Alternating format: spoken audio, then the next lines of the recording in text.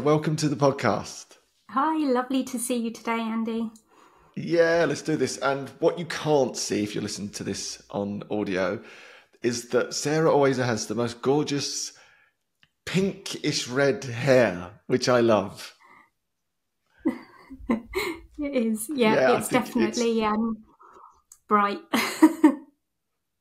Yeah, I think exactly that. It, it it it sums up for me what um, this alcohol-free adventure is all about, isn't it? It's not something to be sort of you know ashamed of or that you hide away. I just love the way that you show up so vibrant and energized in not only your the way that you communicate, but also the way in your appearance. I just think it's joyful. So I just oh, wanted to say that. You, Fabulous. Thank you. That's so, really nice.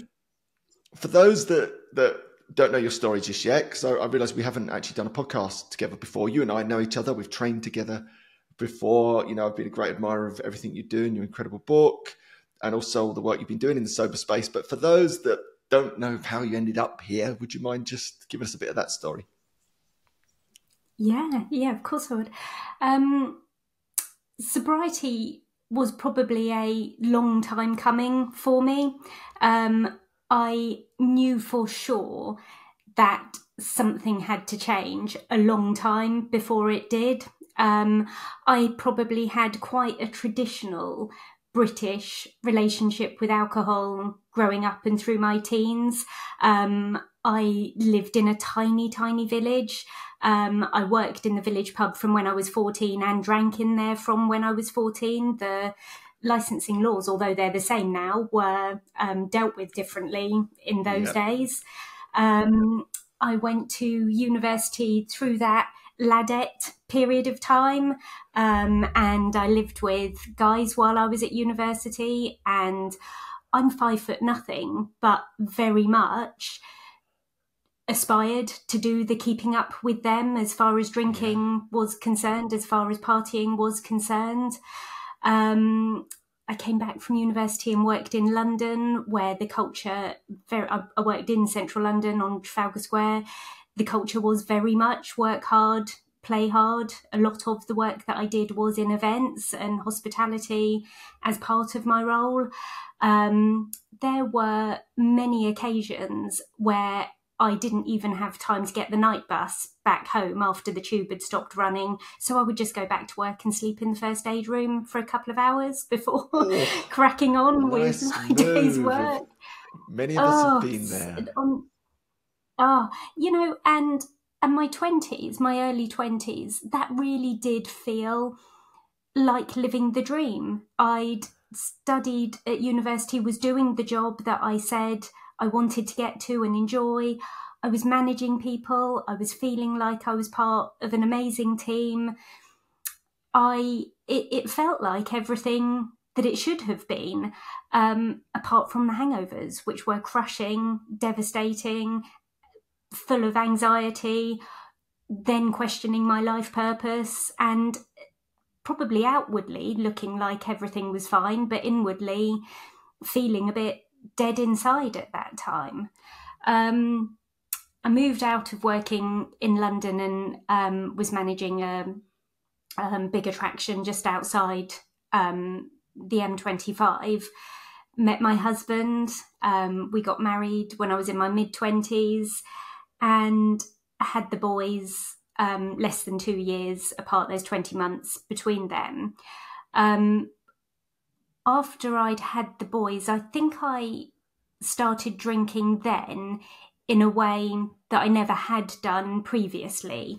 So I think in my 20s, it was about um, confidence and yeah. being part of a bigger group of people.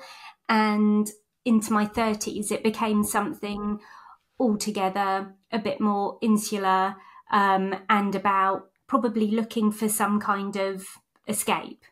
Yeah. Um, I definitely see over the years that there was a bit of pattern in looking for the, you know if if I were to take the motherhood example I would say I was listening to sound bites like or you know reading books like hurrah for gin and it's wine o'clock and it must be five o'clock somewhere and and looking for the I suppose, reassurance that everyone else was doing the same thing that I was.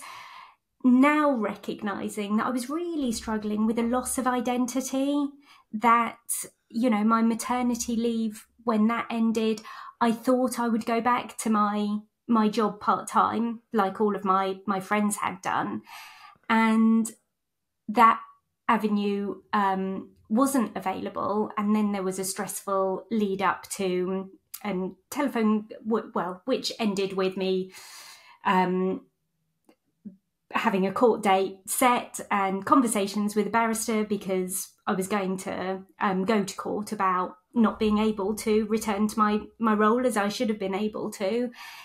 It all just added extra layers of yeah. feeling like my role in life had massively changed and was out of my control this was a period in my life where I was probably at my most vulnerable, my most yeah. tired, my most overwhelmed. Um, and, you know, a couple of glasses a night felt like a bit of an uh, escape. Um, it felt like it helped with being exhausted. It helped, it felt like it gave my husband and I an opportunity to have a bit of time together on the sofa in the evening, chatting about our days. Um, and I suppose the moment that I knew it really was going to change was in 2017 when I'd had a big night out with some friends in London. Although I live outside of London now, I go in regularly to catch up with friends and um, and do the things I want to do, hanging out um, in a big city. And this particular night out looked like any other was cocktails, dinner, few drinks afterwards. Um, was completely plastered. Got the last train home.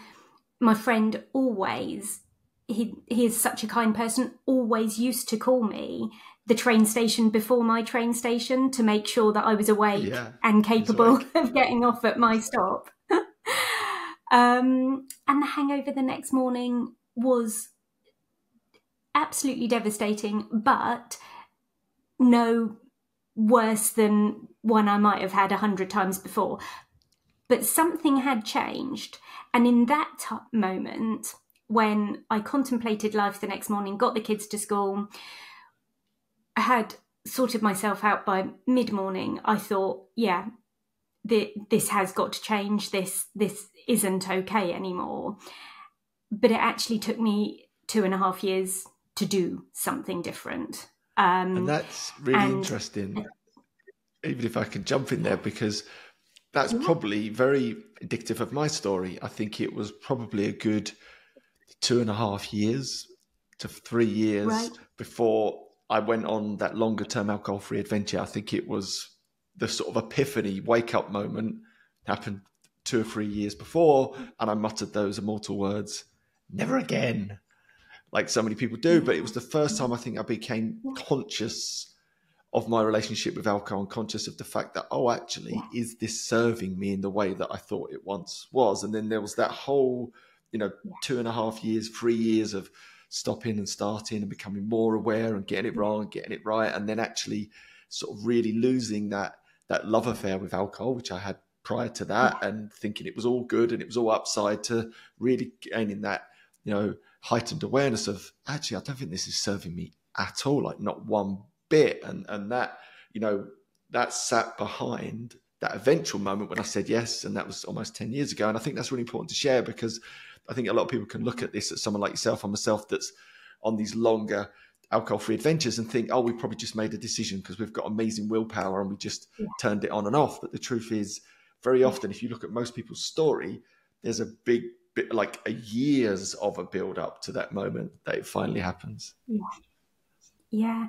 And and I think it's really useful for us to remember this about ourselves and be very conscious, you know, in the conversations we have with people who are first of all becoming sober curious, recognizing that this is a way of life that is living that isn't miserable, lonely, and boring, that it is joyful and exciting and has got obviously so much going for it, that the idea that somebody would say, oh, okay, today is my day one, and push off from that point and never look back would be incredibly unusual. And yeah.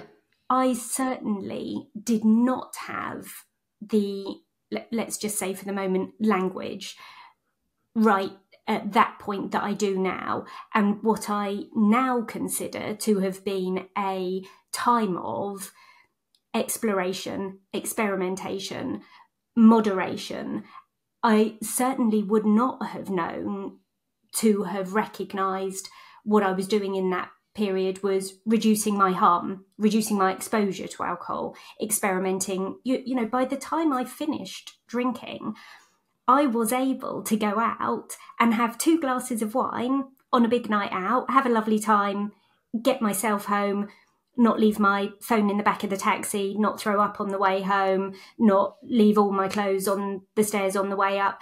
And and so in many ways somebody would say, well, then there's nothing to see here. There's no problem. She's drinking under the government guidelines for safe drinking of alcohol.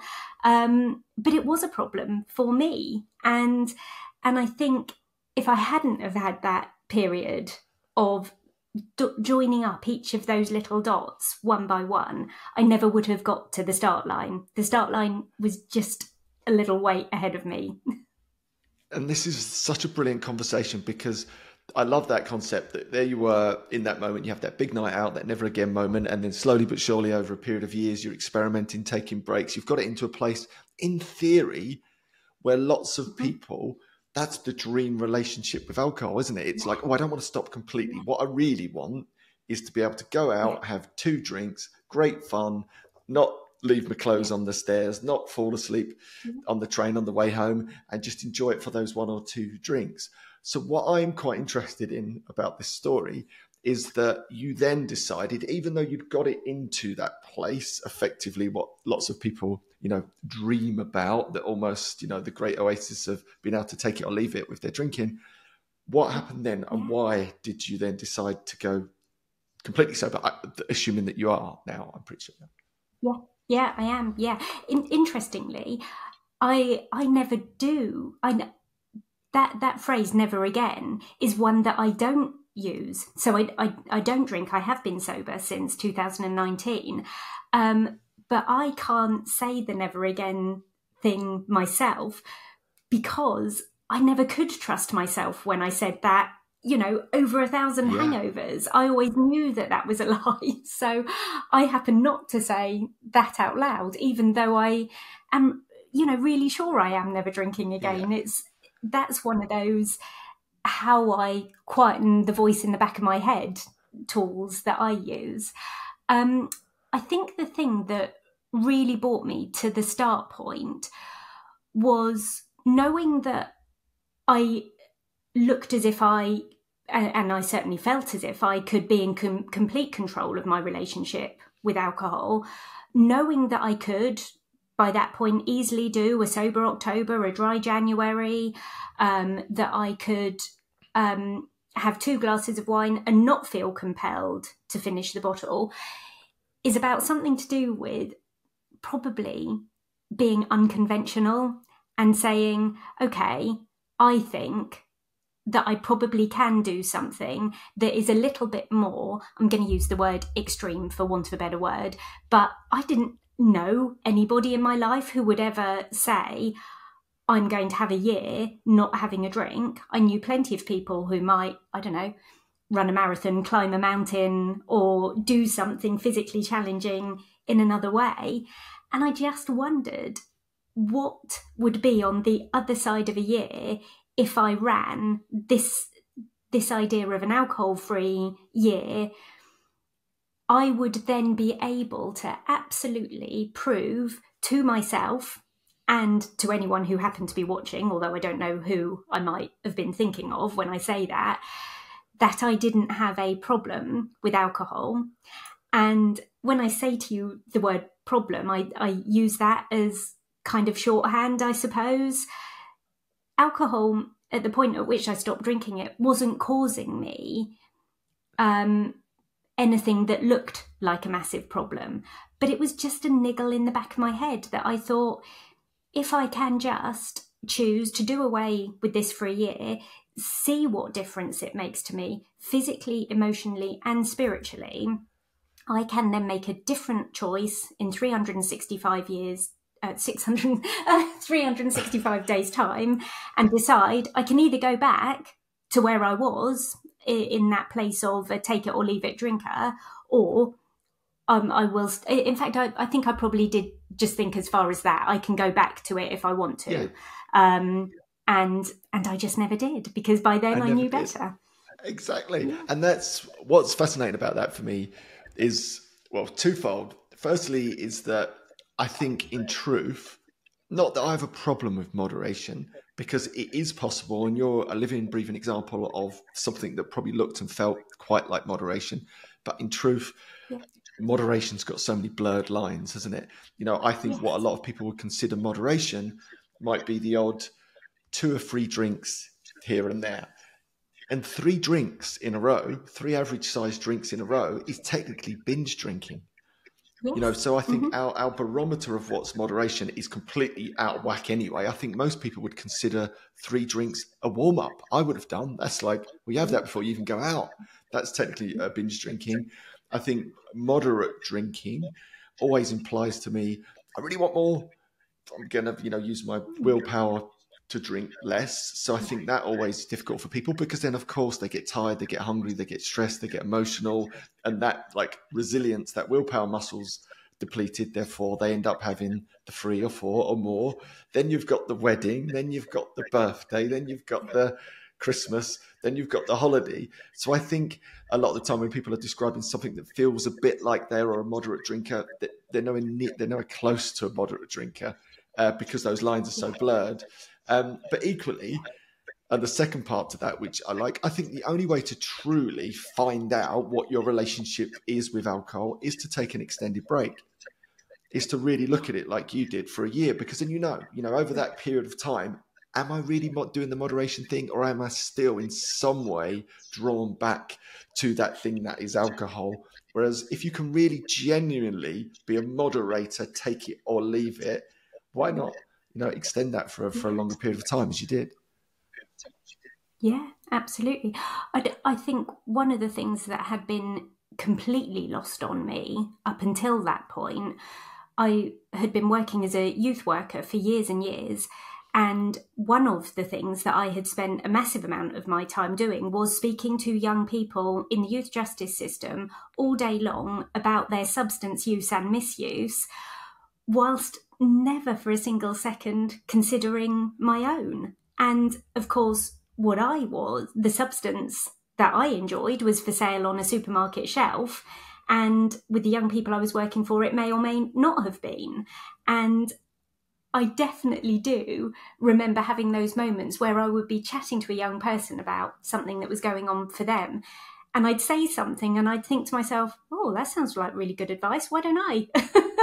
yeah. try that. I found myself actually starting to listen to my words that I was not the intended audience of, and recognizing that there sounded like there was some sense in it.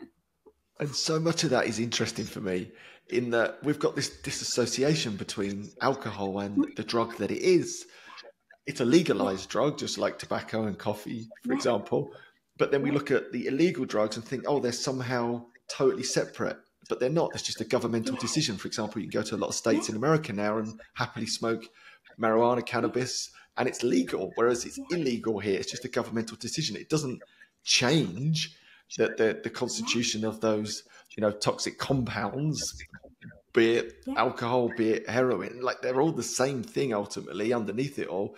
Yet we have this weird disassociation. It's like, well, alcohol's not a drug. There's drugs and alcohol which again is another sort of marketing sleight of hand, a governmental way of hmm. phrasing something that shouldn't be phrased in that way because they're all drugs. These are hmm. legal, these are illegal. Yeah. And I think it creates that strange disassociation. Like, how many, for example, people right now would be talking over a few glasses of wine about the drug problem that we have, the opioid yeah. crisis, or like talking about these things completely disassociated from the fact that whilst they're having that conversation, they themselves of drinking or taking a drug. It just so happens to be legal.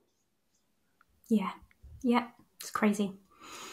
Crazy stuff. So, on that note, and one thing that I wanted to segue into is you as a coach as well, and you go on this lovely adventure and you turn into this fabulous coach because something you said there's important as well. I often find that when I'm coaching someone or being coached, these lovely little insights come out, and you're like, oh, that's pretty good. I think I'll keep that for me. Even though you're coaching someone else and they're getting this little breakthrough, I'm like, oh, I'm going to have that one at the end of this session because that was really insightful. So it was interesting to hear yeah. you say that. I think when you start to coach people, that's why lots of coaches go on this, I think, transformational journey themselves because they're constantly, you know, either helping someone else or helping themselves to go on that adventure. So tell us a little bit about that. You, you, you stop drinking, mm-hmm. You go on this incredible journey, yeah. and then and then what happens? Yeah. So I had my my background in coaching and mentoring. Mentoring is is more than fourteen years now.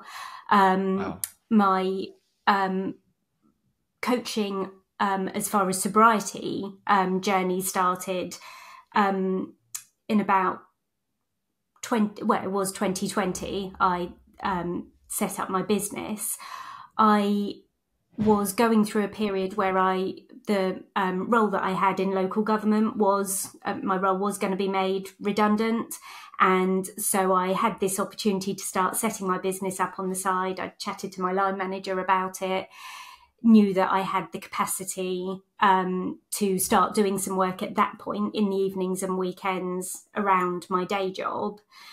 Um, and my business really has grown in all sorts of different and unexpected ways.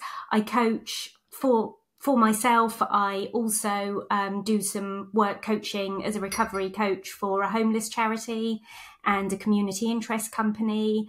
I've had so many interesting opportunities come my way. Um, that that idea that thinking that a redundancy is going to be impactful in a negative way um, actually never was for me. I was really lucky to know that I was going to set up and do what what I was then focused on.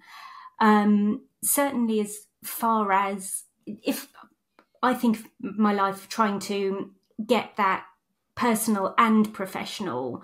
Um, I'm slightly wary to use the word balance, but let's just use it for the purposes of this conversation, um, into the right kind of um, feel for myself.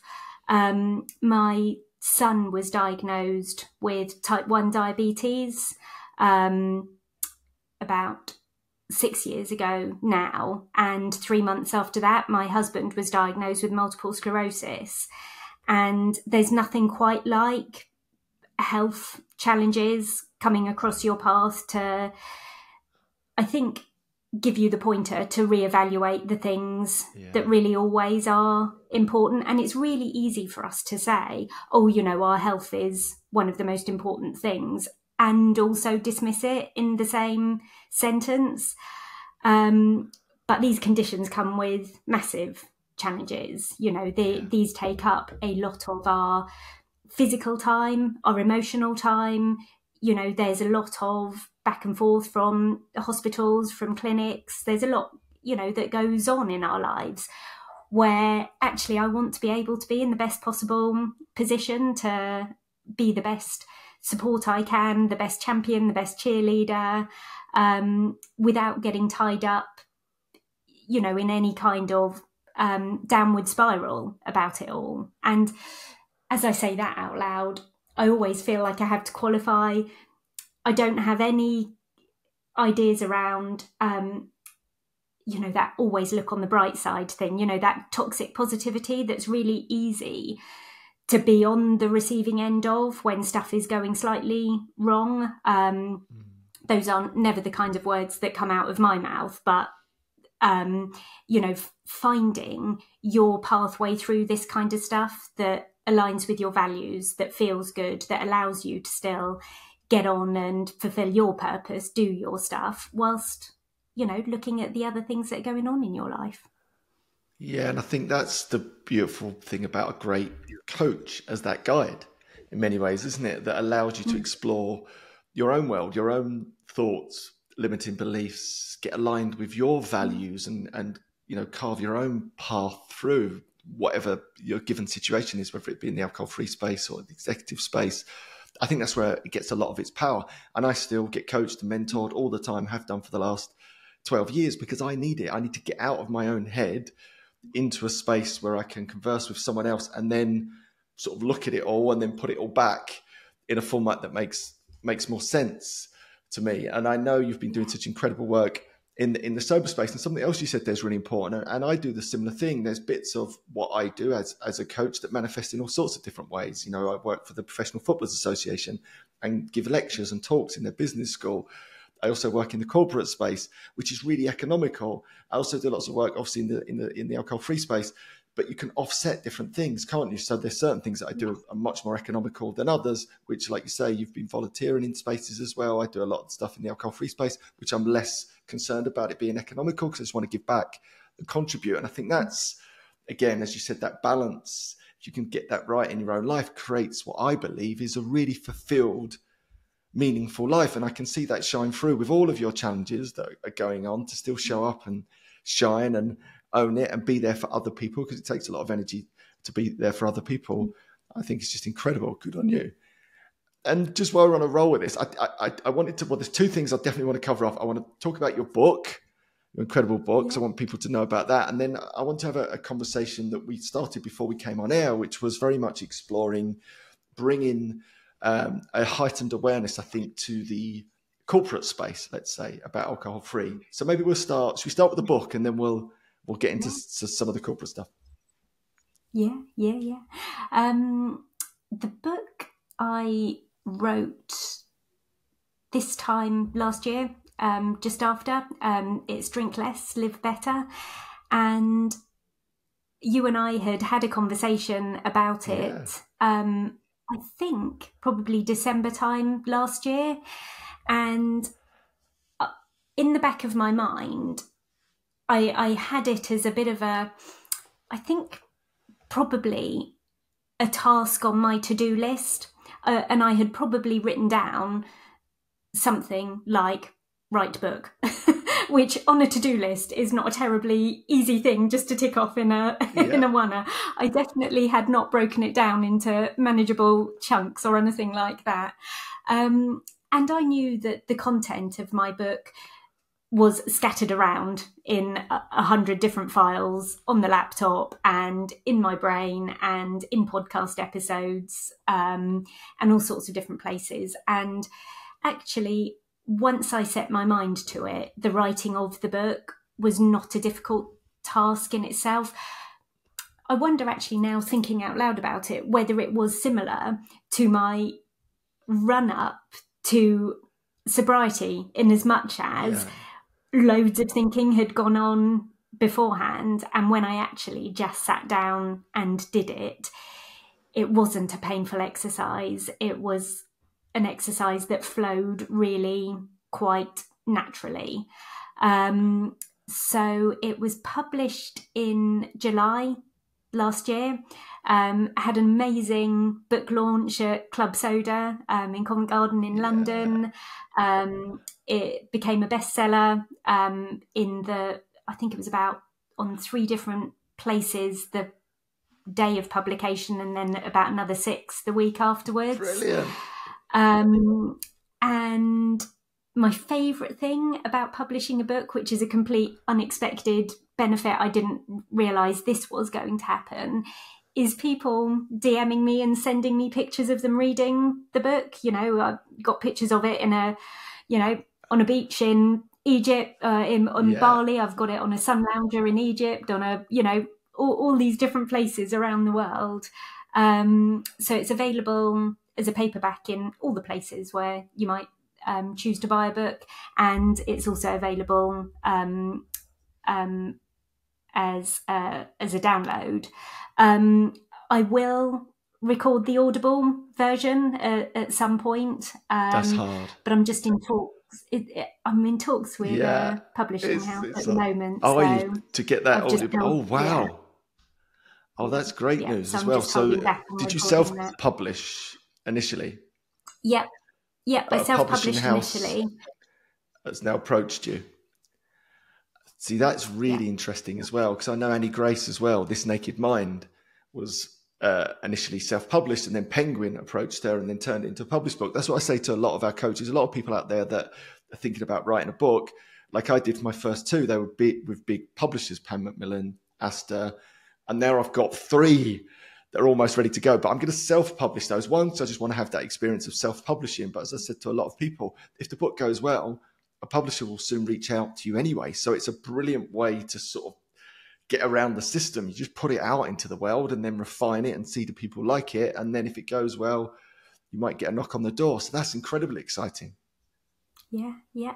And and I think if I go back to my initial thoughts about putting a book out in the world, it was for the reasons of hoping that somebody else might see a little bit of their story and my story that might be useful or motivating or helpful. And and it's serving that purpose absolutely from the feedback that I'm getting. So the idea that um, my book I I consider it to kind of sit slightly in between um, if quitlit is a genre, which I never knew it yeah. was years ago, but you and I now both know it is, if there is a set of books that are more, let's say, memoiry, and a set of books that are more sciencey, for want of a better better term, yeah, we I think my book sort of sits somewhere in the middle of that. There is some lived experience stuff in there, but it is all about the resources. It is all about the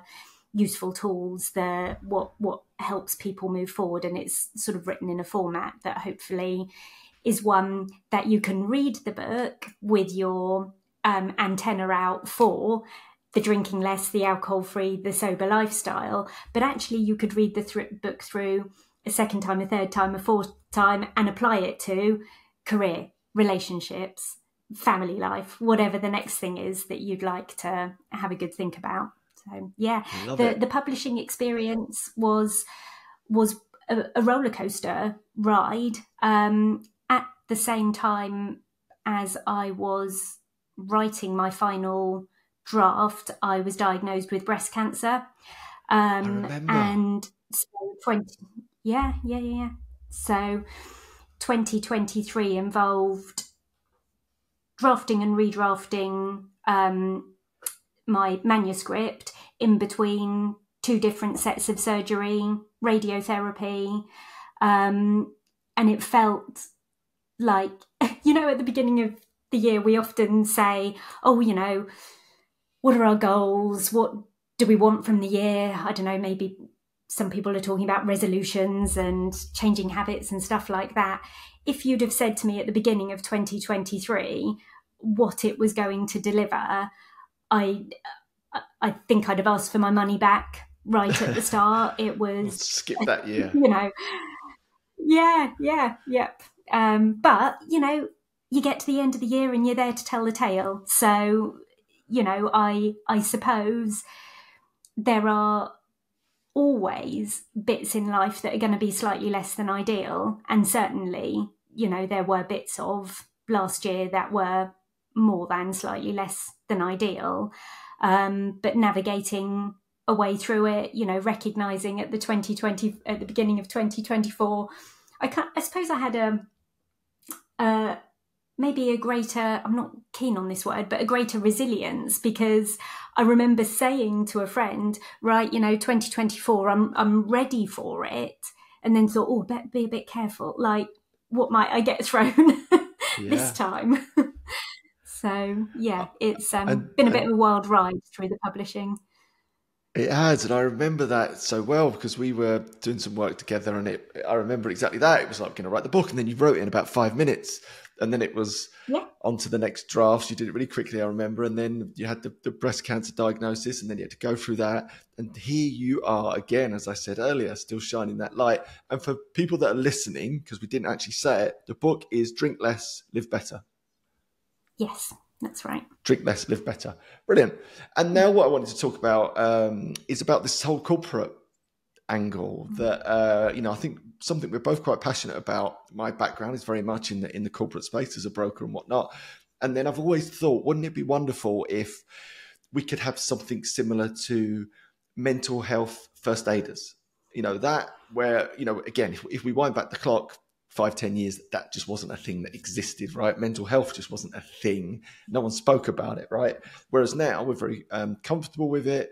Many organisations have exactly that mental health first aiders. They have a whole litany of courses, support. It's very open, which is incredibly helpful, right? And I wish, in some ways, and this is my hope and my dream, that actually we'll be able to do something for alcohol in the workplace. So, what, what's your thoughts about that?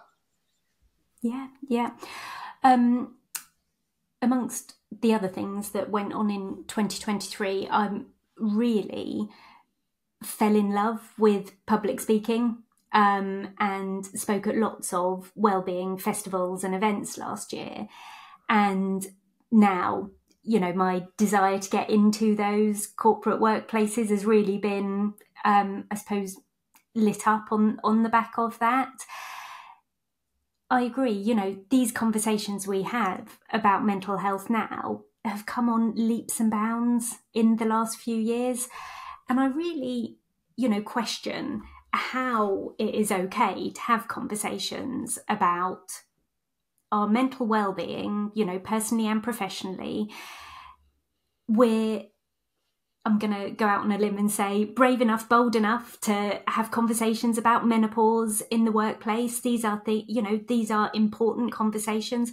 Why are we leaving alcohol out of these conversations? And, you know, if I were just to take reference back to one tinier part of our earlier conversation, you know, we don't talk about drugs, do we? We talk about drugs and alcohol. And so that is one of the, I suppose, barriers, for want of a better word, that I have come up against that idea that somebody in a workplace, if I'm talking about alcohol, they might say, well, we don't want our workforce to think that we're telling them what to do, what relationship to have without with alcohol, and I wouldn't, in my wildest dreams, tell anybody anything about probably anything. I wouldn't, for a single second, think that coming into somebody's workplace and I don't know, delivering a talk on everybody stop drinking now might go down really well, not least of all because I'd have been the least glad recipient of that myself at some point in the not too distant past. Um, so the idea that we open these conversations gently, um, the idea that team leaders, managers might currently find themselves in difficult conversations with members of their staff, perhaps in one to one conversations how well is that team leader or manager equipped if a member of staff says, I'm really struggling to cope with a tricky diagnosis, for example, in the family or with myself at the moment. I've got stuff going on in my personal life that's causing me worry. I'm probably drinking a bit too much um, as as a way of trying to deal with what's going on, and we would go to those really um, well rehearsed lines. You know, have you spoken to your GP about this? Have you looked at AA? Might be the kinds of conversations that actually become conversation stoppers instead of conversation openers. And very often people need somebody to hear them, to listen to them non judgmentally, to be open to a back and forth conversation about what is going on for them emotionally, what is going on for them at the moment at home. Our professional and personal lives collide all the time. And so, one of the things that um, I've been talking about in workplaces is about the overwhelm that I've experienced in my life at various different points. I have used alcohol as a way of dealing with the bigger things that have been going on behind the scenes, let's say, that I never would have taken into the workplace. And in a workplace, somebody might say to you, why don't you call the employee assistance program? Um, which I'm not going to do an employee assistance program down may may be useful in some ways, and certainly I've been on the receiving end of some fabulous counselling through that kind of service before. But helping your staff to be future focused, helping your staff to um, find the resources that really work for them, that really help them to manage their situations better, can almost be the conversation about alcohol by stealth. Um, you know, a, a, different way in. Um, we will all have our different ways of coping with what's going on. And in the workplace, sometimes I think you know, I'd been guilty in the past of using overwork as a way of dealing with the stuff that's going on at home.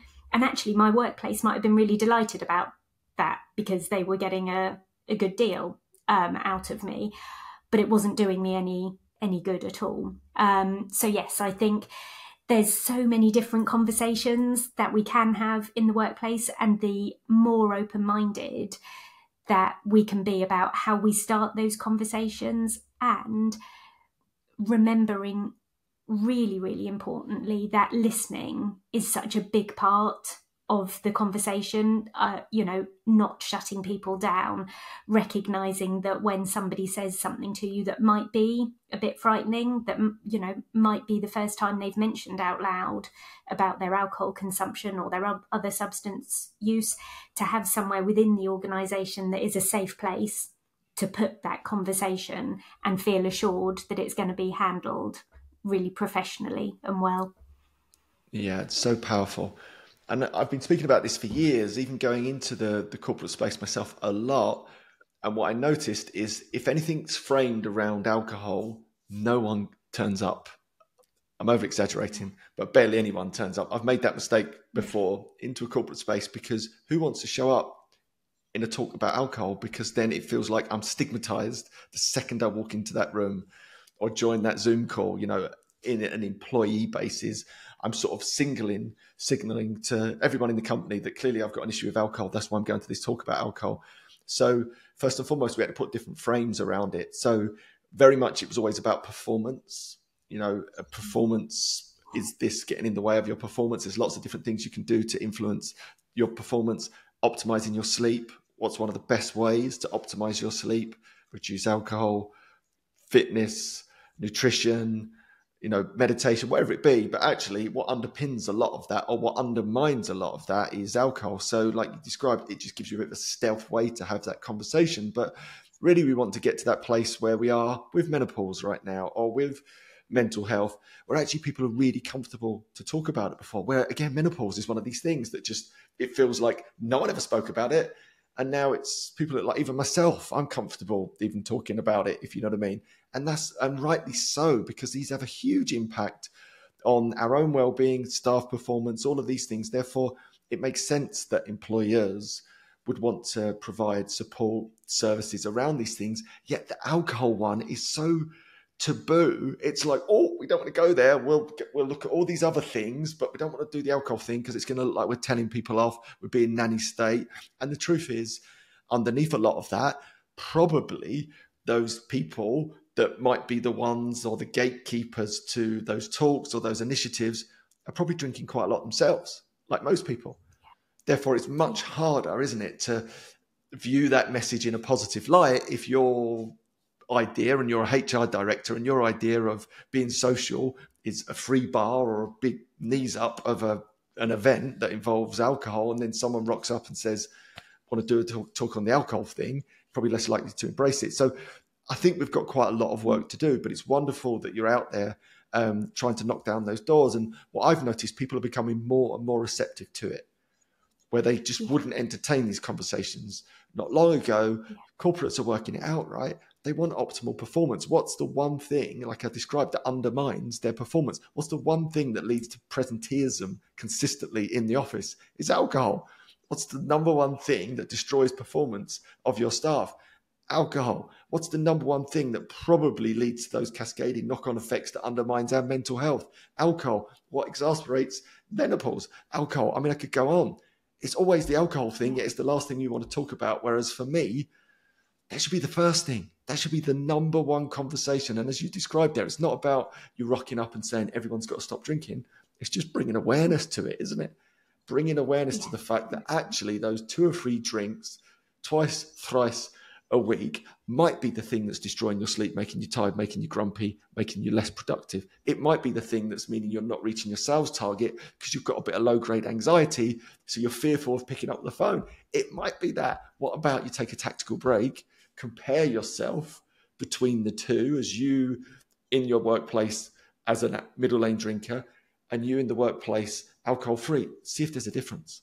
And I guarantee it for almost every middle lane drinker, there will be a marked difference. I think that's the type of conversations that we also need to have on top of what you described, which was that beautiful space of just being there and ready to listen to someone rather than picking them up and going, Oh, you need to go to the AA. You need to phone this hotline because that's terrible advice for most people that are sort of middle lane style drinkers. They just need to be heard and, and encouraged. Yeah, I love it. Yeah. It's exciting. All of these things. And what's great about this, Sarah, is that, that you and I have been at this for a long while now. So you're starting to see these conversations unfold, which um, yeah. it's really important. The work that you're doing, the, the work that I'm doing is actually to start to have these conversations. And my hope is that people listening to this that might be HR directors, that might own their own corporation, that might be in a corporate space, might reach out to yourself, for example, to come in and have those great conversations. Let's start those conversations and make it much more comfortable for people to talk about their relationship with alcohol and then to maybe do something about it. Yeah. And I think it doesn't need to be done in any big, scary way. You know, organisations are having well-being days all of the time. You know, it can be an added in, an optional extra. It can be something that doesn't feel like it's being presented as, you know, something that you must must attend, you know, as a um, three line whip, you know, something that is for for you to consider the the benefits of. Yeah. Wellbeing day. So skillful, and, and exactly that. And it might just be that actually by bringing you in on a consultancy basis, which I think is a great idea, they might just review how they entertain their staff. And rather than it all yeah. being about alcohol, it's more so about alcohol free. And of course, there might be alcohol there, but it's almost takes the place of where alcohol free is now, i.e., it's the thing at the back of the counter that people can sort of go out of their way to get to as opposed to the thing that's out front. And I always say this as well. You know, the senior people in an organization set the tone, don't they? So, and, and I think when I've sat with some huge corporations, billion, multi-billion dollar corporations before, and I've been into their organizations and they've shown me around the incredible work that they do. They've got people with their uh, lanyards on, mental health first aiders. They've got sleep pods, meditation pods. I remember asking this one particular organization, how do you get together? How do you like socialize as a team? Given that they've just done all of this incredible work around mental health, and it was like, well, what we do is we've got a bar and it's free. So what we do on a Tuesday, the boss, the CEO, he comes out on a Tuesday and we invite everyone along and we all have a load to drink. And I was like, what's your mental health like on a Wednesday? I bet it's take a battering. I bet your mental health first aiders have rushed off their feet on a Wednesday and you could see the penny dropping. And, and then, oh no, on a Thursday, we have Thirsty Thursdays as well. And the, all the directors come to that one. And I was like, you've got to understand psychology. If the CEO is going to a drinks event, what message does that send to all the directors? The directors are like, well, I don't want to get thrown out of the tribe. If the CEO's rocking up, I'm going to rock up. And if the CEO's drinking, I better drink. But you can bet 50% of those directors are thinking, I don't want to drink. You know, I'm going to be late home. I'm going to be rubbish in the morning. I've got a big sales quota. I've got a big meeting. I'm going to upset my partner. But of course, social pressure, they all end up drinking. What message does that send? To the line workers. Well, if the CEO's drinking, the directors are drinking, I don't want to be thrown out the tribe. I better turn up and I better drink, even though I don't want to drink because I don't want to be rubbish at my job. I don't want to upset my partner. I don't want to be a rubbish parent.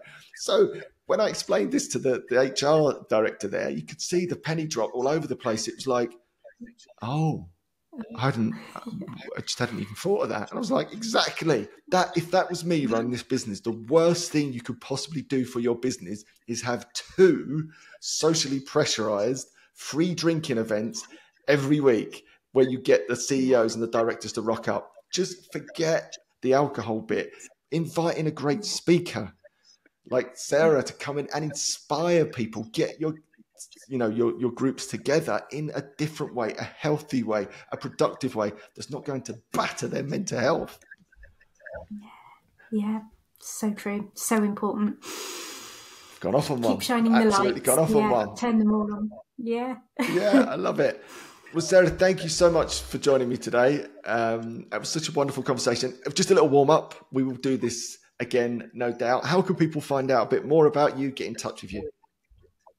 Yep. Um, I'm at drinklesslivebetter.com um, and Drink Less Live Better um, on Instagram or Facebook as well.